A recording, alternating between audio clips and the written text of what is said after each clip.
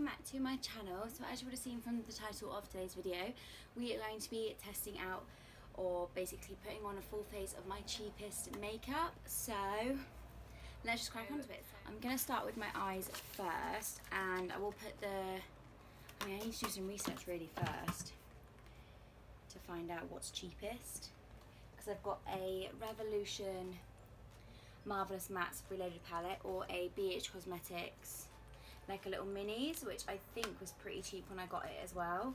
So let me just Google that.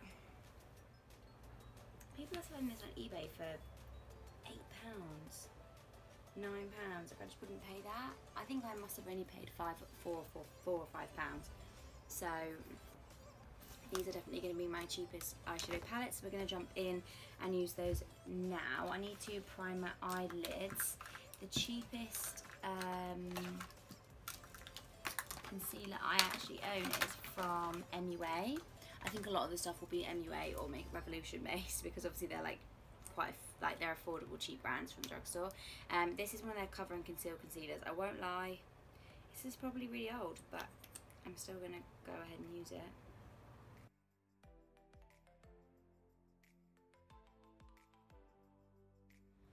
Absolutely no coverage whatsoever.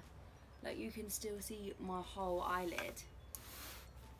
It's just cast like a very, very, very thin, um, like yellow sort of hue over my eye. It's literally not covered anything. Which is crazy to think like when they must have released that, I haven't got a clue when that was, but when they released that product and like called it cover and conceal like what are you concealing? Because that's not concealing anything. Uh, sorry if I sound a little bit like gross because I mean I'm feeling just rather rubbish right now but I really fancied filming today so I just thought why the hell not?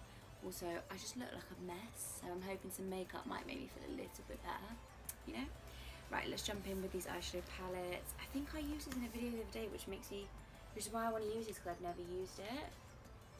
I'm going to dip between the two. This is like sort of a tutorial, but also sort of not a tutorial. So I'm going to take the dark blue right at the bottom there. They've just got numbers, so this one, number 13.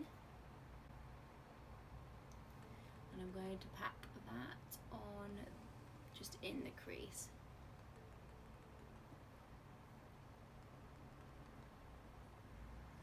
I know people say like Makeup Revolution is cheap and whatnot, but it does not lack quality, let's be real. I know some shades um, and some palettes aren't always perfect, but like what brand is, um, unless you have like the budget to be perfect every single time.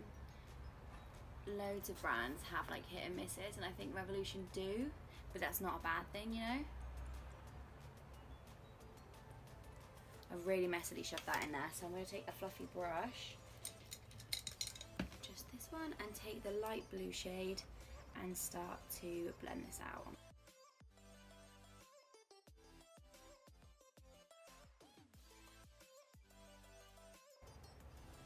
So tonight my um, graduation video goes up. I will have that linked below if you haven't watched it already. Now I didn't film it on the exact day that I went to graduation, but obviously as you can imagine that was just not going to happen. Um, but I basically did that exact look the morning of graduation so yellow would that be a little bit risky? Let's go with yellow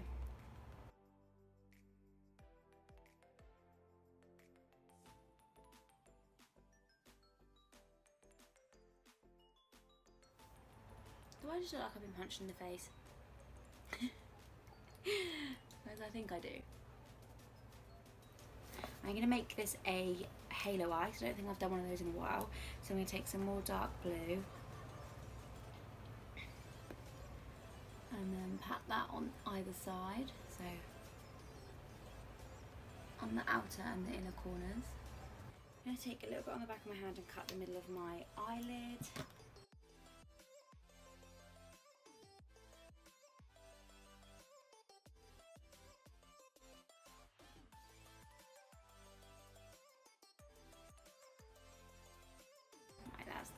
Awful cut crease in the middle there.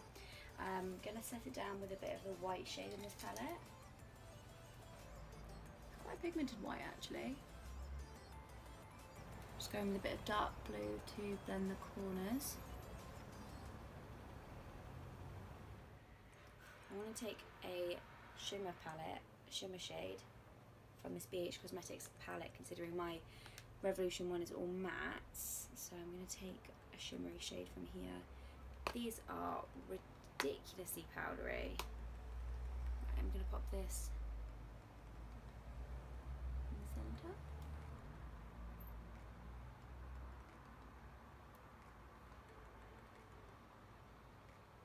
Right, I'm going to get some makeup wipes and makeup wipe, clean up all this and I will be right back. So it's not looking awful, it's just not looking the best at the same time. I'm going to actually go in with the green shade I fancy on the bottom, on the lower lash line. Just this green in the middle.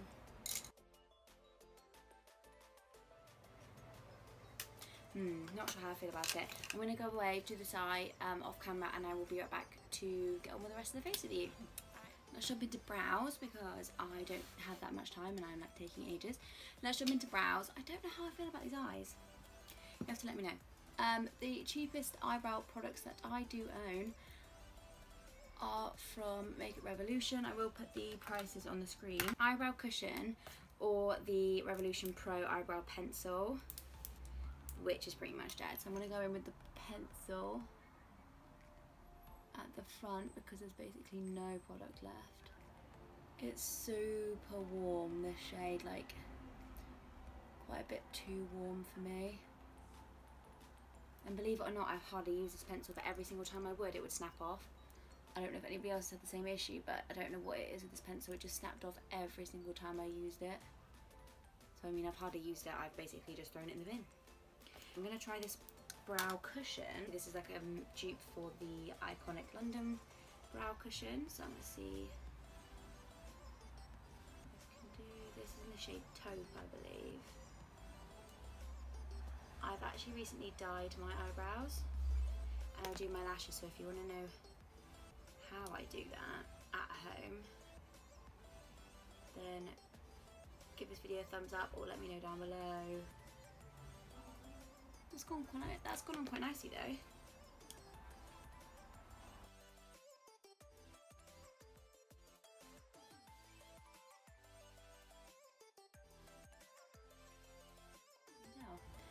Don't have a brow gel though unfortunately which is really sad. Like I've not tried a cheapy eyebrow gel which sounds bad um, because I've just basically had gimme brow but let me know if you do like any specific um, brow gels perhaps from Primark or Makeup Revolution. Let me know what you're thinking about brow gel. I'm going to pop on this mascara now. This is from Primark. It's the cheapest one that I own. This is called the PS Lash Lash Lash yeah Lash Contour.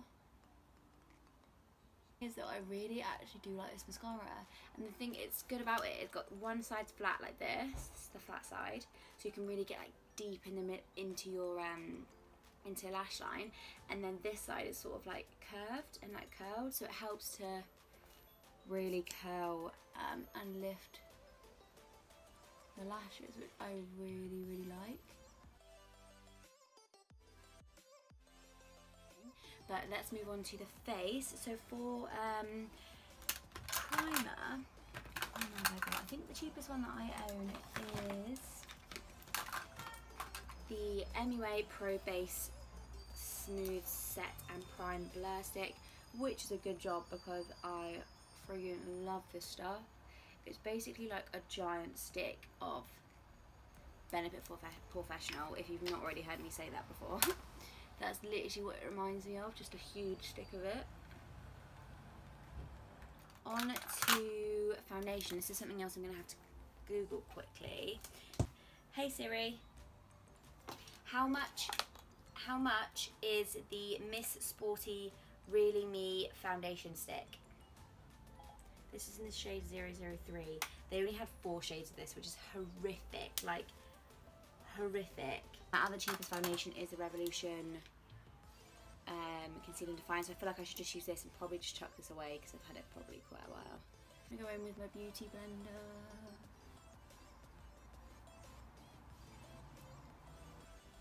Yeah, really nice concealer foundation that went really, really nicely on top of the um, makeup stick, which I can appreciate. I've got to go in with this now though, which kind of really sucks. The MUA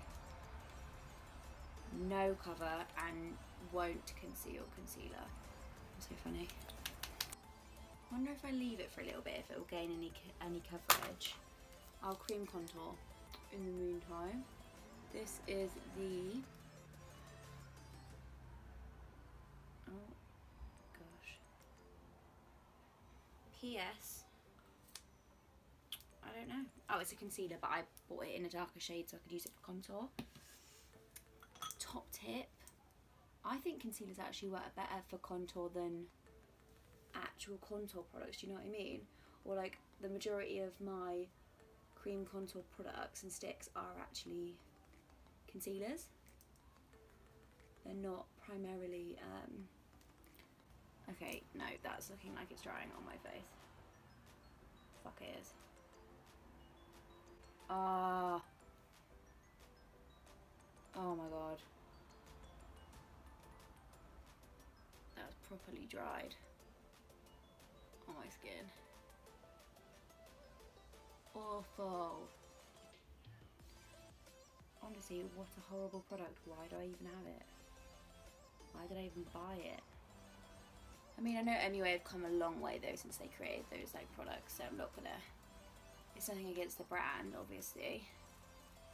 I haven't tried any actual cream, like really products from MUA in quite a while, so that would be nice to sort of test out. So give this video a thumbs up if you would like to see a testing MUA sort of video, because I'd be definitely down for doing that.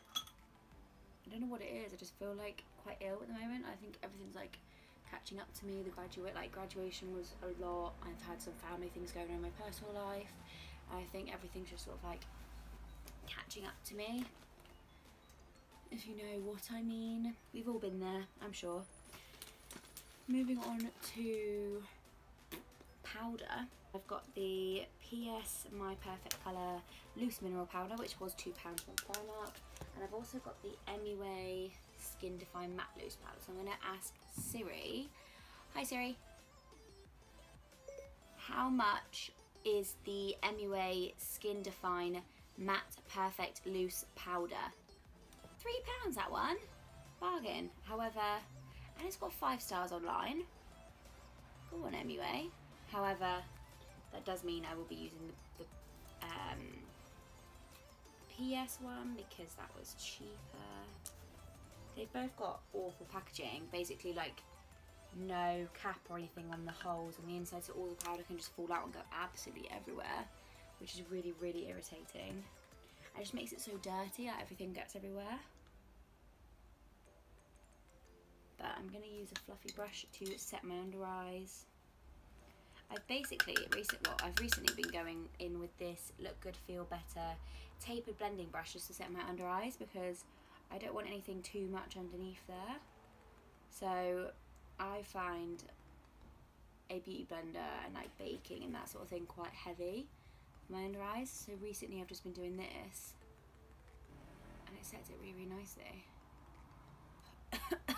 gone everywhere. I mean, considering this powder is literally full, I think shows that I've not really used it and therefore probably not bad. So moving on to the face products, we need some bronzer and some contour. I'm going to take the MUA bronzed matte bronzing powder in the shade Solar, which I think I got in my Superdrug haul. If you didn't see, I will link it above. This is brand new. I've not yet used it, so let's see what this baby can do. Oh, okay, hello. You are pigmented quite a bit pigmented and quite a bit red as well which I'm not mad at because I don't I quite like red toned bronzers but if you don't you won't like this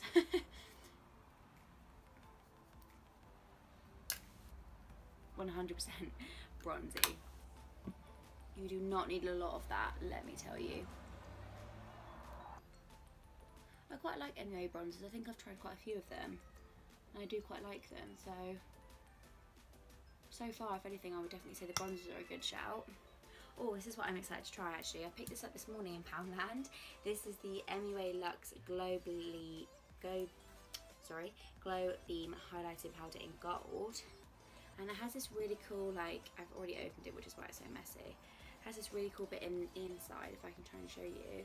You twist it and it sort of gets all the product up through those tiny little holes. Which I think is kind of cool, but also this is so messy now that I've opened it. So, do you know what I mean? Like, you can't really do much now I've opened it. There's just product everywhere. And dip into this powder. It looks quite, like, chunky, but it's loose, so that might be why, right?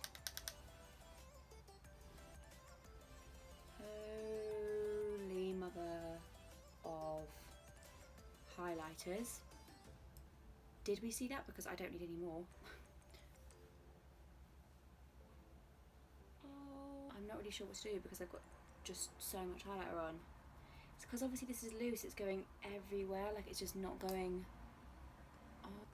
Wow, because I got it obviously for a pound in Poundland. I can't imagine it's very much from from Superdrug if they still sell it there. 100% you need to try that out if you have not already. So let's pop a little bit of blusher on. And the cheapest one that I own is from Primark. It's the PS Blush High Pigment Blusher in Amore, and this was £1.50. Just like to use a little angled brush.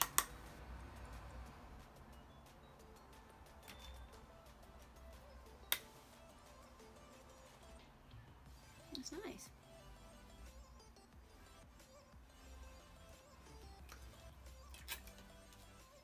Back through this video actually quite quickly. Um, next thing that I need to try is lipstick.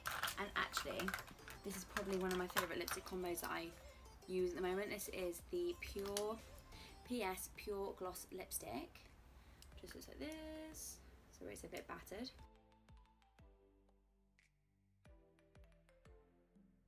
also smells so good.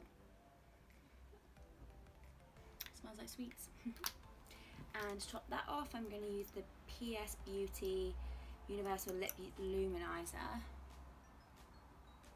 I used this in a video the other day and I swear this is like a Fenty Gloss Bomb dupe. Do you know what I mean? Definitely reminds me of that anyway.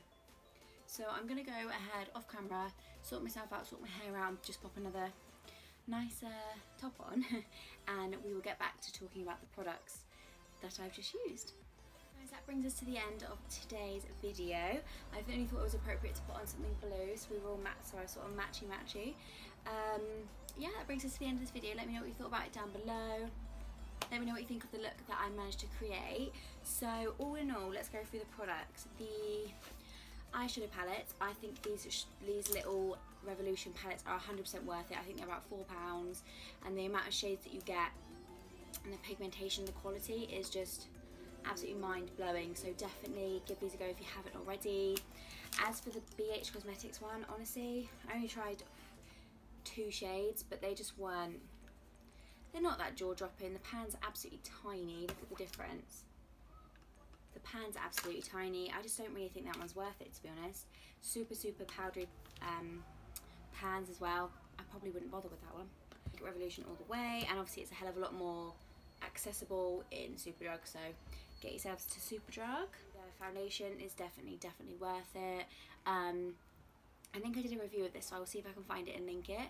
I honestly really enjoy this foundation. It does get a little bit cakey on me, but I think it depends on the sort of powders that I'm using, the concealer that I'm using and the primer that I'm using. So sort of take my reviews with a pinch of salt, but I think this is really good foundation and I know that a lot of people do enjoy this. Anyway, Pro Base, I love, love, love.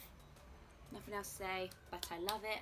I want to try the other ones that they've got. I know they've got a few other variations of this Pro Base, so I definitely want to give those a go. The MUA Bronzer and the PS Blusher I really liked. See the highlighter, you know my thoughts on that. That worked insanely well, and if you can get this in Poundland, why would you sleep on it? That's what I'm going to say. I don't like either of these powders Um, I didn't use this one in the video, but I have used before, and considering it's full, they're both full, I just don't like them. There's something about them, they're just quite thick, even though they're loose powders, they're quite heavy, they're drying. This has got good reviews online though, so maybe it depends on your skin type, but for me personally, I don't really like them that much, either of them, to be honest. The lips, if you can pick these up, like I know Primark switch and change absolutely everything all the time, so you might not be able to find these anymore. Um, but I love this pure um, lip gloss, and I love this lip um, luminizer. I feel like both of these are supposed to be dupes of Fenty, aren't they? Fenty did this sort of hexagon shaped packaging, didn't they? And then obviously their gloss bomb is quite similar, no? The brow cushion wasn't awful, to be honest. I think it looks quite nice. Um, I just prefer brow pencil, it's easier and I'm more precise. So that's sort of each to your own. This go another bin. so that wraps up today's video guys. I really hope you enjoyed it. Let me know what you think of the sort of bluey, greeny, yellow mermaid, mermaid, mermaidy look we've got going on. I think it's kind of cute. Let me know what you think got down. Oh, let me know what you think down below guys um, I hope you're all well don't forget to subscribe before you leave by clicking the big red button below we're at 90 subscribers which is kind of mad it's not loads, don't get me wrong, but it's quite a lot for me, little old me, you know? So let's see if we can get to 100 and I will do a giveaway, yay, exciting. So stay tuned for that. Click subscribe if you haven't already. Um, but yeah, thanks for watching guys, I hope you see you in my next video.